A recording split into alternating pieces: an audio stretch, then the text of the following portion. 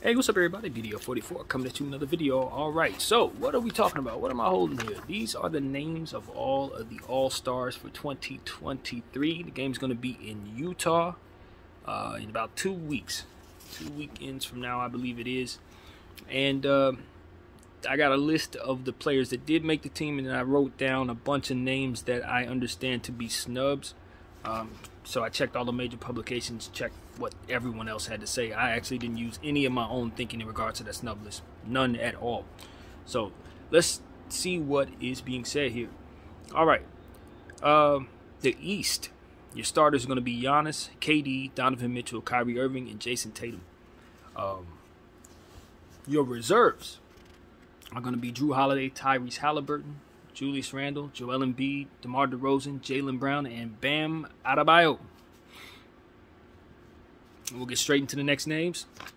In the Western Conference, you got for your starters LeBron James, Steph Curry, Luka Doncic, Nikola Jokic, and Zion Williamson. And your reserves are going to be Paul George, Shai Gilgeous-Alexander, Jaren Jackson Jr., Dame Lillard, Lauri Markkanen, Ja Morant, and Domantas Sabonis. Uh, so you know, I don't have a problem with most of these names. When I say most, honestly, I do mean that. I don't think that we have a problem with players making the list. I think we just need more names to be added to the list, uh, more names added to the team. That it's not a, necessarily that any of these guys didn't deserve to be there. It's just that the other people also did. Um, names like Jaren Jackson are, are, starting to make some noise as players that people don't think should be there. I understand it was some type of uh, situation where maybe his numbers were being recorded wrong or something. I only hear that in hearsay. I haven't looked up the information on that. I, I didn't hear about that any more so than just in passing. So I don't know what went on there. But the point is, seems like some really interesting details going on in regards to everybody's opinion about Jaren Jackson and whether or not he deserves to be there. From what I understand, he's been an excellent defensive player all year long, blocking shots and all kinds of other stuff. Um, that that cannot be denied. But what I also understand is that he was a slumping three-point shooter of catastrophic proportions when he ran into my Lakers, and we talked about it on this channel quite a bit. Leave him back there, and he's gonna brick, and he bricked like crazy. It worked like a charm. So I don't know if that should change anybody's mind about anything at all, but that's just the facts. Um, so I understand people aren't happy about that. Another name it's Paul George. And I know Paul George's been balling all year. Kawhi Leonard ain't been there, and the, and the Clippers are a pretty damn good team, so you got to give him his credit. They got a lot of talent around him as well. You want to give credit to, to, to the majority of their squad, plus they got a fantastic coach in Ty Lue. But um, I can definitely see where other people would want to see some other names ahead of Paul George based on the snub, snub list. Um, I didn't have any problems with the starters except for the fact that Zion kind of made it without actually playing enough games to make it make sense. Uh, but you can't look at that as him getting in over others who were snubbed on the reserve list because, of course, he was voted in by the fans. So it's not one of those situations where you can blame uh, the voters um, behind the scenes for anything that happened in regards to Zion Williamson. And I think that's what a lot of the sentiment is. Zion doesn't deserve to be there versus someone else. It's like, but the fans voted him in. Y'all did that. Can't blame the coaches and the players for that one. Uh, and in the Eastern Conference, you see a lot of names on here that, you know, in my opinion, the Bam out Adebayo uh, situation here is the same thing as Jaren Jackson. You can kind of see where people would look at that name and say, why is he there over his own teammate Jimmy Butler? You know, you know that's an example. But for me, Bam is, is another representation of what we're seeing in Jaren Jackson is the voters wanting defense to be given more credence, more respect, and more shine. It's what we were talking about in regards to Patrick Beverly in one video uh, where we were talking about all the good things that he does on the defensive end, doesn't get looked at as a superstar uh, in, in, terms of how much he impacts the, you know, in, in, in whatever he does. It doesn't get as much credence because you know the fact that it doesn't show up in the stats, unless he's getting a bunch of block shots or steals. You really can't tell a defender has really done a whole lot.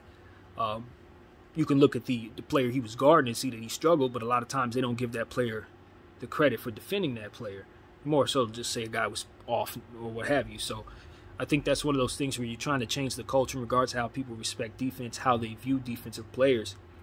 Um, and so this is what they're doing. They're making sure that those players are getting more shine this season. And I can't say that I don't appreciate it because I I lobby for it.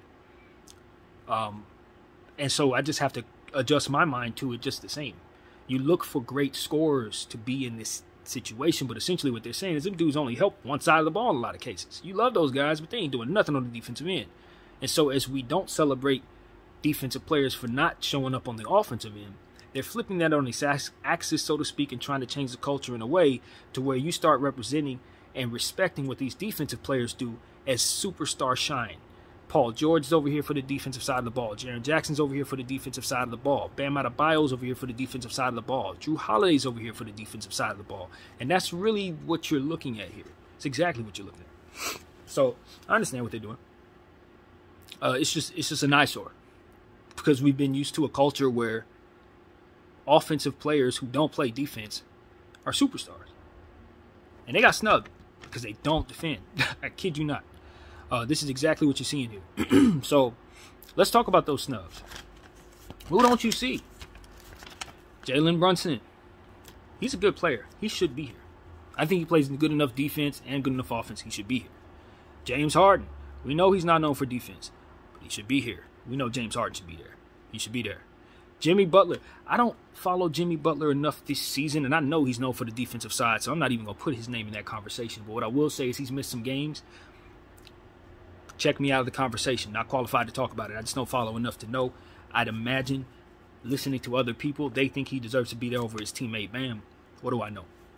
Uh, Trae Young don't play no defense. He doesn't play defense, and this is the situation I was telling you about. Dejounte Murray came in and took something from Trae Young's overall star power. It's just like anything else. When you bring a superstar to you and you're a superstar, it's almost impossible to get MVP because that other superstar is going to cancel you out. And that is what has happened here to Trae Young in a way. His superstardom is taking a, a, a, um, a, split, I guess you can say, when DeJounte Murray came in. Now they cancel each other out. As to where a guy like Trae Young would get automatically voted in. That ain't how it's going now. It's just not how that's going to be as long as he's playing with that player next to him. And I think that that was a problem in the first place. Is why I thought they should not have done this. I understood what they were doing. And if you're looking to move on from Trae Young, which it looks like they are, having DeJounte in place makes sense. So I, I get it, but now it's like you got to move on from Trae. I guess it seems at this point, uh, because this type of stuff is going to start happening to him, and he ain't going to accept it. Pascal Siakam. I, I just don't really understand how he didn't make it. His numbers are so incredibly good offensively. His team is damn good. He's he's played a lot of games. I don't think he's missed too many games. Although my memory doesn't serve me very positively. I know some of the players around him have missed games, like OG Anunoby Scottie Barnes, and he's been the mainstay there, putting up real good numbers the entire time, as far as I could tell. So, him not being there is a ridiculous snub. Another name that was mentioned is Kristaps Porzingis. I didn't follow him that much. I followed Kuzma a little bit. I thought he might have been considered somebody that might be up here, uh, but I just didn't follow their team well enough to know. Check me out of that conversation. And Darius Garland. He missed some games, but no more games than some of these other guys that did make the team. Darius Garland should definitely be there. Uh, credible player. We know he should be there. Now on the west side, you know, you have Aaron Gordon, who's known for his defense, who's on a good Denver team, uh, who's putting up career numbers. Um, a lot of people feel like he was snubbed, man. You know, a lot of people feel like he's been snubbed. He's played a lot of games. You know what I mean? He hasn't missed anything, and it, it, Denver's been at the top of the West. So by the way the criteria, based on his defensive abilities, uh, he should be there. But you're going to see some other names that are even bigger than him that also aren't here. Devin Booker, he missed a lot of games, but he's also not an All Star this year. That's very strange to a lot of people, given how well he was playing before he got hurt. Uh, Anthony Davis, for the stretch of time that he was playing well, uh, obviously he was a top three player in the league. It's kind of weird not having him in this All Star game, knowing what level he was displaying at certain pockets of the time of the season. Um, Ant Man, Anthony Edwards of the Eastern uh, of the um, Minnesota Timberwolves obviously a high level shooting guard uh, that that will always make all star teams in his career, which is why this doesn't make much sense because he should always be there. And De'Aaron Fox, um, the number one player that gets snubbed every single season of his career, basically. Just like Dame Lillard had happened to him to start his career, they're doing the exact same thing to De'Aaron Fox. He's getting the Dame Lillard treatment. You know what I mean? There's just certain players that they allow themselves to snub because it's easy to do so. I don't know what the science is behind that, other than the fact they just feel like other players may be more uh, worthy in whatever given criteria they're looking at. But De'Aaron Fox has met that criteria to be an all star for many years in a row. And the fact that his team is winning now should be the only thing that would have otherwise kept him from getting in there, which was, um, you know, losing. He's not. His team's good, very good, and he's at the helm. He hasn't missed games. He's putting up star numbers. He's picking teams apart. He's clutch. You know, he, he was the sole reason why my Lakers couldn't win the first game against the Sacramento Kings. We just couldn't stop him. It's just killing us. So for him not to be here is ridiculous. Nothing short. I mean, one of the biggest draws to the NBA right now is the beam in Sacramento. It's one. It's the best gimmick probably the game, the game has had in a very long time. So it's not like they don't have all eyes on Sacramento. They got a buzz. So for me, this is just disrespect. I mean, the fact of the matter is, we've been watching him get snubbed for the last two years in a row, doing basically everything he needed to do to keep himself up, right? In a logjam with other guards, they got rid of those guards so that this wouldn't happen, and it still happened. So I, I just I don't I don't think there's anything we could say other than they need to make sure he's in there next year. And God, hopefully he can have a healthy season so that we can, you know, see him deserve it. But he needs to be there, man. You look at some of the names that made it um, on the western side of things. You just don't understand how the hell Jaren Jackson would get in over De'Aaron Fox this season. Not this season. Not given the fact that Jaren Jackson missed some games to start the season, if I'm not mistaken. You know what I mean? And so, like I said, I wouldn't bring Zion into this because it just doesn't apply. Uh, but you would love to. It would make you feel better if you could. These type of things you would love if the system didn't allow for this to happen. That's basically what it comes down to. You got fan voting screwing up crap by getting players in here that just don't deserve to be in here over somebody's reserves. And then you got some of the reserves that are coming in because of the, the voting that makes it so that some of these guys don't deserve to be here as much as some of the guys don't. And you know, it's politics behind a lot of this because sometimes these guys, you know, the voters have their own agendas and they have their own allegiances. So these type of things kind of compromise circumstances in a way as well. We know last year James Harden was the last guy to get voted uh, onto a team. You know what I mean? When the two starters just did not choose him. Now you look this year, what's going on? He's not on the team. You just wonder if it was politics behind James Harden not being there. And, and, it just speaks to the same stuff that I say I don't like in regards to my own team and what we focus on, making sure guys have minutes uh, over making sure that we have the right schemes on the floor to defeat the team that we're going up against. Like these type of things are just driven by the wrong things, and as a result, you get the wrong results. You see uh, scales that are that are measuring things improperly, and, and, and they're telling you players should be in situations and shouldn't be in situations when that's not what you see when you watch the game. So that's what it really comes down to.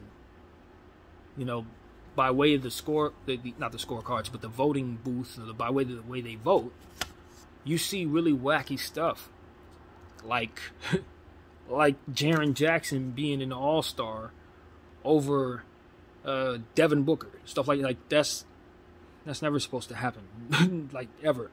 Even if Devin Booker misses time, the level Devin Booker played, didn't we see Devin Booker score like a ridiculous amount of points earlier in the season before he got hurt or something like that. I mean, these type of things just shouldn't happen. Ant Man's one of the rising stars in this entire league. Him getting snubs, we're not better for that. You think the All Star game is a better watch if Ant Man is not a part of it, but we get a chance to watch? You know what I mean? Paul George, again, I mean, we've seen Paul George in All Star team many times. I think that's what people are saying. We want to see some guys if it's a little sway or whether or not a new guy versus a guy who's been there a million times gets it, it should probably be the new guy, don't we think? Maybe not. I don't know. Maybe not. I am happy to see Lauri Markkanen come in and get his first All Star appearance. Obviously, Jaren's is his first. Congratulations, Shai Gilgeous-Alexander. That was a, a no brainer. He probably should have been starting this season. So congratulations to him getting his first, I believe. Uh, Ja, of course, got to be there. We know that. Dame, the way he's played, that's a no-brainer. Sabonis, like I said earlier in the year, that's that. Any All-Star team that didn't have him involved in it this season didn't hold any credibility with me. That's just how well he's been playing, in my opinion. Bron is a no-brainer. Steph is a no-brainer. Luka, the Don, Jokic, all of those guys have to be there. Zion, you just wish he was healthy. Obviously, he would have earned his way there if he were. And so the fans have it right based on his what they think he'll be able to do and what they what he's capable of doing, but not necessarily what he's earned. And so I think fans uh, you know, they're gonna vote the way they vote, man. You can't ask people to, to know more. It just is what it is. Uh, but you know, like the Bam Adebayo thing, you know, I'm not really following, so I just don't know. But there are just so many bigger names. That's what it really comes down to. When you're talking about, you know, Trae Young and James Harden out of part of your All Star team. I mean, is Utah really happy about this? Be, given the fact that they're going to be uh, hosting the All Star game. I mean, I love Jrue Holiday as much as the next guy, but I mean, no Trae Young, no Jimmy, no James Harden. I don't know, man. No Anthony Davis. I don't know, man. It just seems to me that y'all left a lot of money on the board trying to make trying to prove a point. It's bad enough y'all got it in a place like Utah. It's gonna bring, you know what I mean? No, no offense, but it is what it is. And then you're gonna bring them, basically the Beefs team. I don't know. The NBA has its own agenda, man. I'm telling y'all, we're seeing remnants of this agenda all over the place. All over the place. And it has to do with a lot of stuff that has nothing to do with the game. Now they get to say, okay, Trae Young ain't worth this amount because he didn't make the All Star team that year. Okay, now James Harden doesn't get this amount on his extension because he didn't make the All Star team last year. Jalen Brunson's contract ain't worth as much now because he didn't make the All Star team that first. These are the type of things they can screw around with. Don't act like the fans don't know this. Don't act like we're in the dark about all that. We're not. BDF 44. Thank you all for watching.